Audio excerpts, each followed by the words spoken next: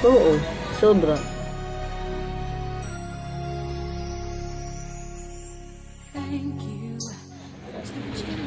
Nakakapagod na kasi.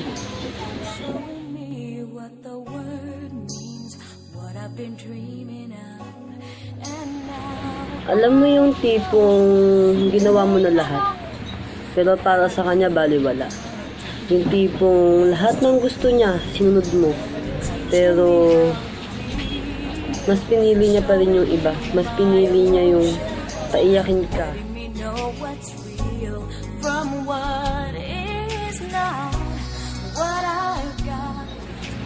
Basta, ang haba kasi.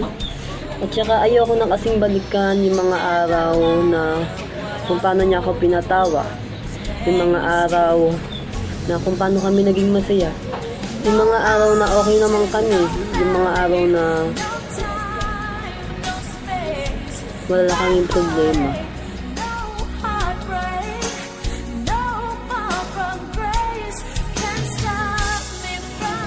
Hindi ko alam kung paano ko sisimulan. Pero basta ang alam ko ayoko na.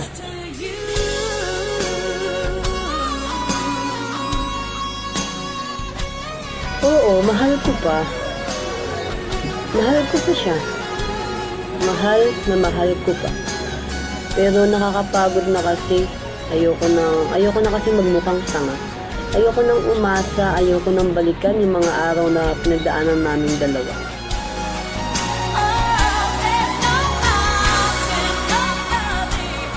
May pag-asa pa ba? Siguro wala na. Kasi pagod na ako eh. Nakakapagod din kasi minsan yung gagawin mo sa kanya yung magpapakatanga ka pero di niya man lang na-appreciate. Yung tipong basta ayoko na, suko na.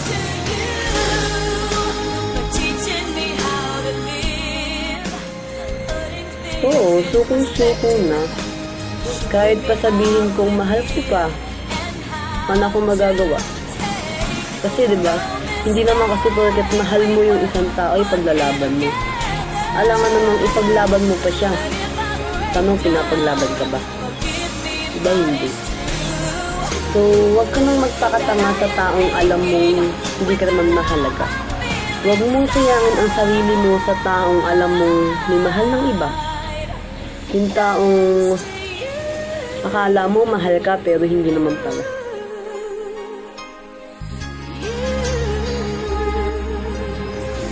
Huwag mo kasing ipilit yung sarili mo sa taong hindi naman ikaw yung pinapahalagahan. Kahit pa sabihin mong mahal mo, sabihin mong kaibigan mo, kasi kadalasan may mga kaibigan din naman naman loloko. Yung kaibigan ka lang nila kasi may kailangan sila. Pero kadalasan yan dun sa taong mahal mo. Yung mahal ka niya, mahal ka niya ngayon kasi may kailangan siya. Pero pagdating nung point na nakuha niya na lahat, pagdating nung point na okay na, nakuha niya na yung mga gusto niya, doon, iiwanan ka niya.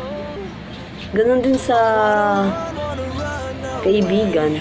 Kasi hindi naman kasi lahat ng kaibigan totoo.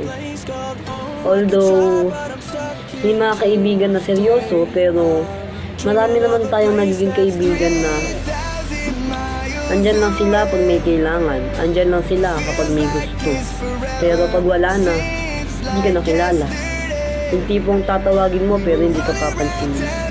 Yung tipong akala nila sila na yung mas magaling.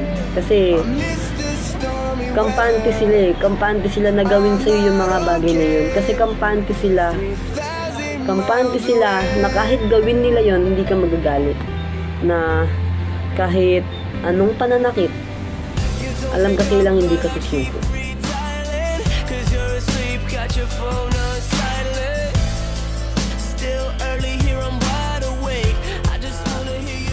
Doon sa taong nangiiwan, ito lang ang masasabi ko. Um, siguro, pag-isipan nyo muna kung ano yung gagawin nyo. Kasi kadalasan, kung sino pa yung taong iniwanan nyo, yun pala yung taong kailangan nyo. Kasi hindi naman kasi sa lahat ng oras, lahat ng taong iniiwanan pwede pang balikan. Tandaan mo, yung taong iniwanan mo, yan din yung taong hahanap-hanapin mo. Dahil nasanay ka na eh. Nasanay kang nandyan siya. Nasanay kang laging inaasahan, nasanay kang... Basta. Masasabi ko lang, Huwag mong iwanan yung taong alam mo nagmamahal sa'yo.